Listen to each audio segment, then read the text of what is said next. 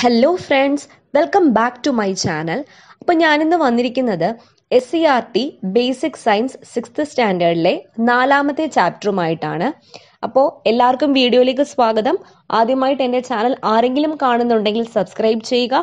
ഉടൻ തന്നെ നോട്ടിഫിക്കേഷൻ ലഭിക്കാൻ അതിന്റെ തൊട്ടടുത്തുള്ള ബെല്ലൈക്കണും കൂടി ഒന്ന് പ്രസ് ചെയ്യുക. ഓക്കെ അപ്പോൾ അപ്പോൾ നമുക്ക് സ്റ്റാർട്ട് ചെയ്യാം.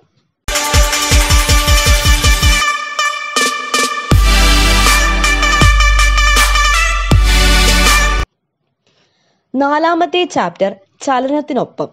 അപ്പോൾ നമ്മൾ ഈ ചാപ്റ്റർ വെറുതെ വായിച്ചു വിടുകയല്ല. ഇതിലെ ഇമ്പോർട്ടന്റ് പി എസ് സി എക്സാമിന് ഷുവർ ആയിട്ടും ചോദിക്കുന്ന ക്വസ്റ്റ്യൻസും കൂടെ ഇപ്പൊ തന്നെ പഠിച്ചു പോവുകയാണ്. ഓക്കെ അപ്പം ഇതിൽ മോഷൻ അഥവാ ചലനത്തെ പറ്റിയാണ് മുഴുവൻ പറയുന്നത്.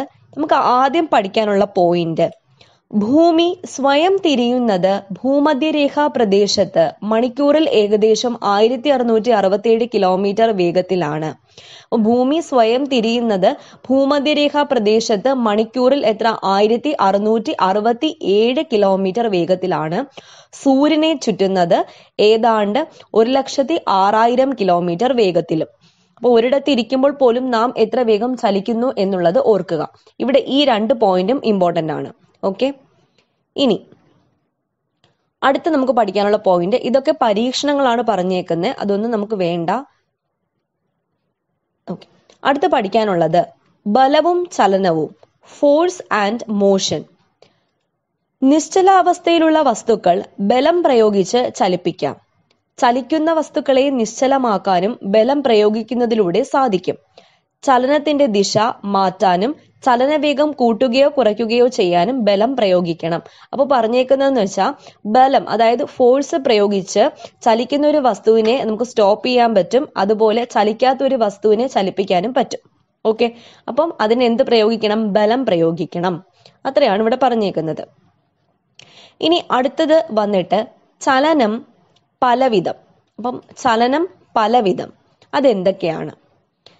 ഇവിടെ കുറെ എക്സാമ്പിൾസ് കൊടുത്തിട്ടുണ്ട്. കയറിൽ കെട്ടിയ കല്ല് വട്ടത്തിൽ കറക്കുന്നു പമ്പരം കറങ്ങുന്നു മാമ്പഴം ഞെട്ടറ്റ് വീഴുന്നു വാഹനങ്ങളുടെ ചക്രം കറങ്ങുന്നു ലിഫ്റ്റ് ഉയരുന്നു വൃത്തപാതയിലൂടെ കളിത്തീവണ്ടി ഓടുന്നു.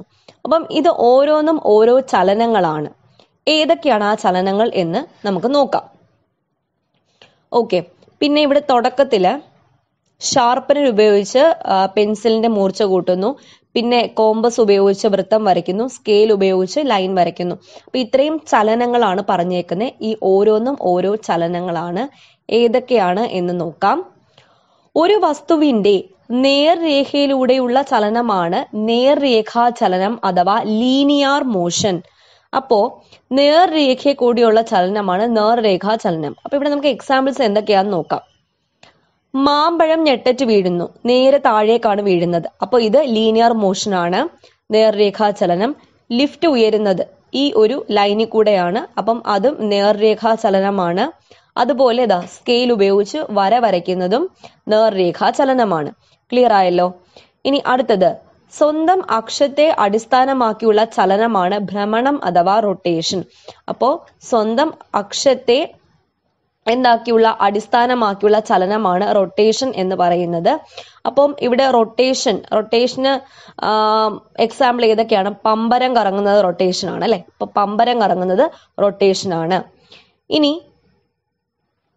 അടുത്തത് വൃത്താകാര പാതയിലൂടെയുള്ള ചലനമാണ് വർത്തുള ചലനം അഥവാ സർക്കുലാർ മോഷൻ വൃത്താകാരം ഇങ്ങനെ സർക്കിളിന്റെ മോഷൻ സർക്കിളിൽ കൂടിയുള്ള മോഷനാണ് വർത്തുള്ള ചലനം അഥവാ സർക്കുലർ മോഷൻ കയറിൽ കെട്ടിയ കല്ല് വട്ടത്തിൽ കറക്കുന്നു.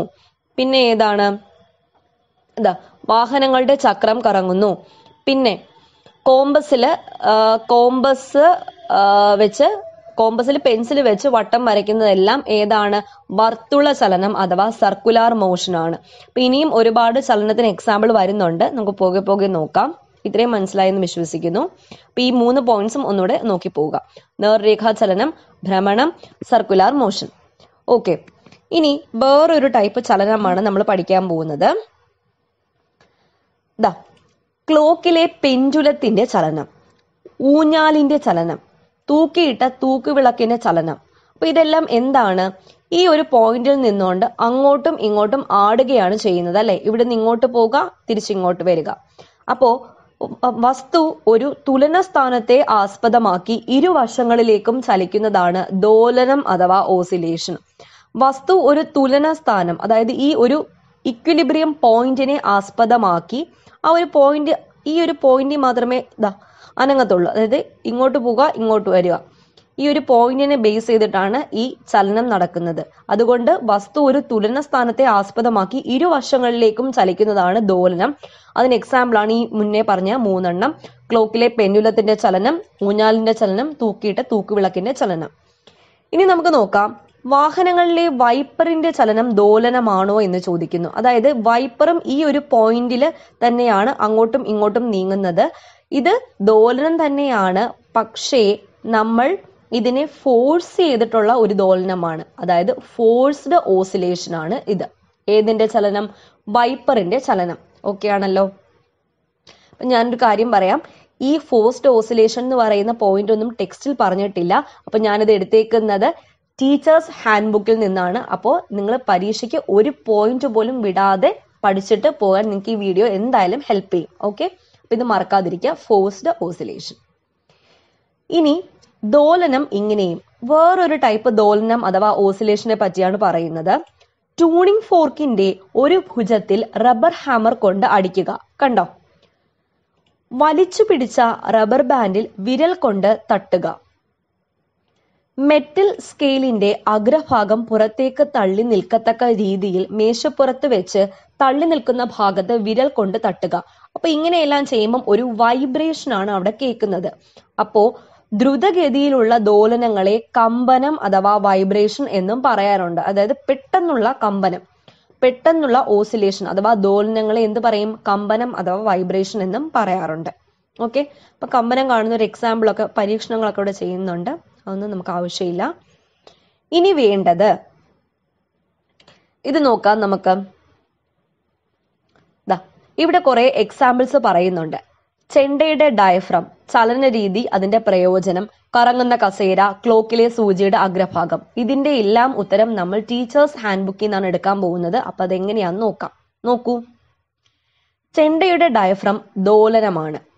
അപ്പൊ അതിന്റെ പ്രയോജനം എന്താ? ശബ്ദമുണ്ടാക്കുന്നു. അപ്പൊ ഇത് മറക്കാതിരിക്കുക. ചെണ്ടയുടെ ഡയഫ്രം ദോലനം കറങ്ങുന്ന കസേര ഭ്രമണം ആൾക്ക് എഴുന്നേൽക്കാതെ എല്ലാ വശങ്ങളിലേക്കും തിരിയാൻ കഴിയുന്നു. അപ്പൊ ഈ ചലനരീതി രീതി മറക്കാതിരിക്കുക ഭ്രമണമാണ്. ക്ലോക്കിലെ സൂചി സൂചിയുടെ അഗ്രഭാഗം വർത്തുള ചലനം അഥവാ സർക്കുലാർ മോഷൻ സമയം കാണിക്കുന്നു. തയ്യൽ മെഷീനിലെ ചെറിയ ചക്രം ഭ്രമണം തയ്യൽ സൂചിയെ ചലിപ്പിക്കുന്നു. ലിഫ്റ്റ് നേർരേഖ ചലനം നമ്മൾ നേരത്തെ പറഞ്ഞു. കെട്ടിടങ്ങളിൽ കയറ കയറലും ഇറങ്ങലും എളുപ്പമാക്കുന്നു. ഊഞ്ഞാൽ ദോലനം വിനോദത്തിന് വേണ്ടി ഉപയോഗിക്കുന്നു. വീണയിലെ കമ്പി ദോലനം.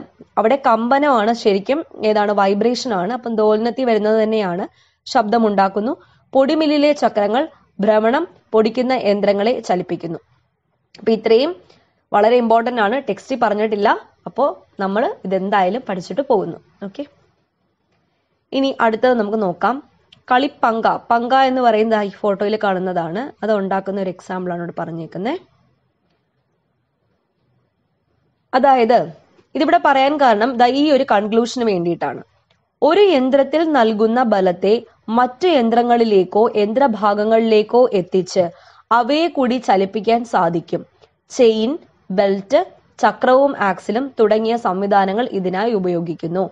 അപ്പോ ഒരിടത്ത് ഫോഴ്സ് കൊടുക്കുമ്പോൾ അത് വേറൊരു സാധനം അതായത് നമ്മൾ ഇവിടെ ഇവിടെ പിടിച്ച് വലിക്കുവാണ്. അപ്പൊ ഇത് കറങ്ങാൻ സാധിക്കുന്നു. അതായത് ഒരു സ്ഥലത്ത് യന്ത്രങ്ങളുടെ ഒരു ഭാഗത്ത് കൊടുക്കുന്ന ഫോഴ്സ് കൊണ്ട് മറ്റ് യന്ത്രങ്ങളെയോ യന്ത്രഭാഗങ്ങളിലെയോ ചലിപ്പിക്കാൻ സാധിക്കുമെങ്കിൽ അങ്ങനെയുള്ള ചില ഇതിന്റെ എക്സാമ്പിൾസ് ആണ് ചില വസ്തുക്കളുടെ എക്സാമ്പിൾസ് ആണ് ചെയിൻ ബെൽറ്റ് ചക്രവും ആക്സിലും ഒക്കെ. അപ്പൊ ഈ സംവിധാനങ്ങളെല്ലാം ഇങ്ങനെയുള്ള ഉപയോഗത്തിന് വേണ്ടിയിട്ട് ഉപയോഗിക്കുന്നു. ഓക്കെ എന്തുപയോഗം? ഒരു യന്ത്രത്തിൽ നൽകുന്ന ബലത്തെ മറ്റു യന്ത്രങ്ങളിലേക്കോ യന്ത്രഭാഗങ്ങളിലേക്കോ എത്തിച്ച് അവയെ ചലിപ്പിക്കാൻ കഴിയുന്നത്. പൊടിമില്ലിൽ പൊടിമില്ലിന്റെ പ്രവർത്തനം അങ്ങനെയാണ്. നമ്മൾ കറക്കുമ്പോഴത്തേക്കും ഇതിലെ ഇതിലെ അത് പ്രവർത്തിച്ച് മാവൊക്കെ പൊടിഞ്ഞു വരുന്നുണ്ട്. പിന്നെ വേറൊരെണ്ണം നമ്മുടെ സൈക്കിൾ ചവിട്ടുമ്പോൾ ഉള്ള ബലം. ഓക്കെ. അപ്പൊ ഇതെല്ലാം ഇതിന് എക്സാമ്പിൾസ് ആണ്. ഇനി പൽചക്രങ്ങൾ അഥവാ ഗിയർ. എന്തിനാണ് ഗിയർ ഉപയോഗിക്കുന്നത്? എല്ലാവരും ഗിയർ കണ്ടിട്ടുണ്ടായിരിക്കും. ഇതിന്റെ ഫോട്ടോ ഇവിടെ കൊടുത്തിട്ടുണ്ട്. അത് എന്തിനു വേണ്ടിയിട്ടാണ് ഉപയോഗിക്കുന്നത്? ഒരു യന്ത്രഭാഗത്തിന്റെ കറക്കം ഉപയോഗപ്പെടുത്തി വ്യത്യസ്ത വേഗ വേഗങ്ങളിലും ദിശകളിലും ഒന്നിലേറെ യന്ത്രഭാഗങ്ങൾ ചലിപ്പിക്കാൻ പൽചക്രങ്ങൾ സഹായിക്കുന്നു. ഒരു യന്ത്രഭാഗത്തിന്റെ കറക്കം ഉപയോഗപ്പെടുത്തി വ്യത്യസ്ത വേഗങ്ങളിലും ദിശകളിലും ഒന്നിലേറെ യന്ത്രഭാഗങ്ങൾ ചലിപ്പിക്കാൻ പൽചക്രങ്ങൾ സഹായിക്കുന്നു. ഇതാണ് ഇതിന്റെ യൂസ്. അപ്പൊ ചെറിയ പൽചക്രം ഉപയോഗിച്ച് വലിയ പൽചക്രം കറക്കുമ്പോൾ ചലനവേഗം കുറയുന്നു. തിരിച്ചാകുമ്പോൾ അതായത് വലുത് ഉപയോഗിച്ച് ചെറുത് കറക്കുമ്പോൾ ചലനവേഗം കൂടുന്നു. പൽചക്രങ്ങൾ ഉപയോഗിച്ച് ചലനത്തിന്റെ ദിശയും വേഗവും മാറ്റാൻ കഴിയുന്നു എന്ന സൗകര്യം നാം ഒട്ടേറെ യന്ത്രങ്ങളിൽ പ്രയോജനപ്പെടുത്തുന്നുണ്ട്. എവിടെയൊക്കെയാണെന്ന് നോക്കാം. ഒന്നാമത്തത് കളിപ്പാട്ടങ്ങളിൽ. ഇവിടെ ഒരു എക്സാമ്പിൾ മാത്രമേ പറഞ്ഞിട്ടുള്ളൂ. അപ്പൊ നമുക്ക് ടീച്ചേഴ്സ് ഹാൻഡ് ബുക്കിൽ കൂടുതൽ എക്സാമ്പിൾസ് പറഞ്ഞിട്ടുണ്ട്. പൽചക്രങ്ങൾ ഉപയോഗിക്കുന്ന ഉപ ഉപകരണങ്ങൾ കളിപ്പാട്ടങ്ങൾ ക്ലോക്ക് വാച്ച് ടൈം പീസ് കരിമ്പിൻ ജ്യൂസിന്റെ മെഷീൻ റബ്ബർ ഷീറ്റ് അടിക്കുന്ന യന്ത്രം ഹാൻഡ് ഡ്രിൽ വാഹനങ്ങളുടെ ഗിയർ ആക്സിൽ പാർക്കിലെ റൈഡുകൾ cycle concrete mixing machine C D D V D player വ്യവസായശാലകളിലെ വിവിധ യന്ത്രങ്ങൾ. അപ്പം ഇതൊക്കെ ഗിയേഴ്സ് അഥവാ പൽചക്രങ്ങൾ ഉപയോഗിച്ചുകൊണ്ട് പ്രയോജനപ്പെടുത്തിയിരിക്കുന്നതാണ്. ഓക്കെ. അപ്പം ഇത്രയേ ഉള്ളൂ ഈ ഒരു ചാപ്റ്ററിൽ പഠിക്കാൻ. ഇനി നമ്മൾ ഈ എക്സസൈസും കൂടെ ജസ്റ്റ് ഒന്ന് നോക്കിയിട്ട് പോകാം കേട്ടോ.